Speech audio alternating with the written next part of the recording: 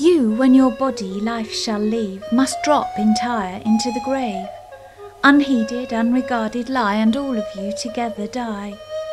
Must hide that fleeting charm, that face in dust, or to some painted cloth the slighted image trust. Whilst my famed work shall through all time surprise, my polished thoughts, my bright ideas rise, and to new men be known, still talking to their eyes.